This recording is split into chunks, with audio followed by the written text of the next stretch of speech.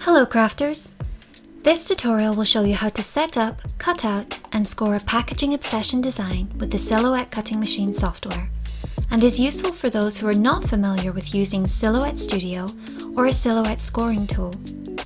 I'll be using the Packaging Obsession bookmark envelope with sleeve design to demonstrate how it works.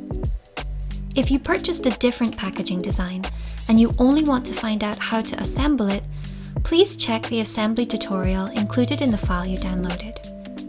I'll start with a general explanation of the files. You may have already successfully purchased and downloaded the zip file. If purchased on Etsy, the file will have been sent to you via a confirmation email, or you can go to your Etsy profile, then click Purchases and Reviews and download the file from there. Make sure to unzip the file first. On Windows, this means you right click with the mouse button and select Extract All. On a Mac, you simply double click the file.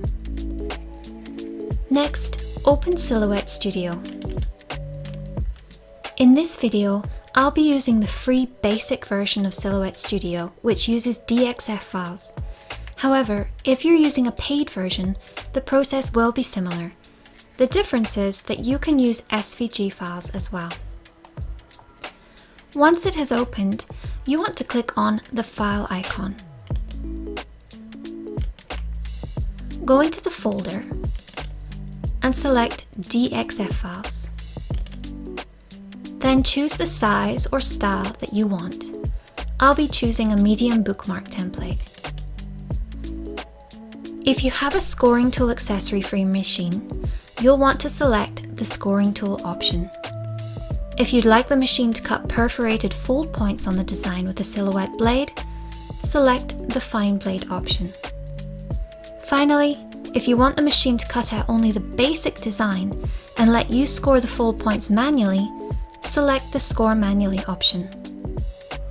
Let's try the Scoring Tool option and one of the embellished designs. So here you can see the design on the canvas. Go up to the top right and click Send. Then click Line. This line in green indicates where the machine needs to score. So change the cut to score. From here, you can start your machine and follow its instructions.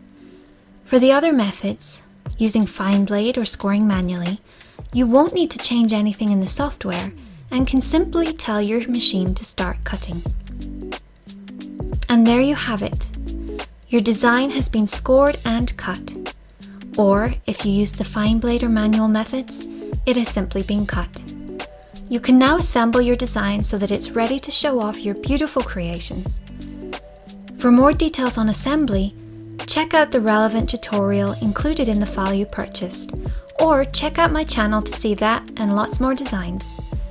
Don't forget to like and subscribe for more tutorials, as well as other content to help small businesses and crafters. Happy crafting!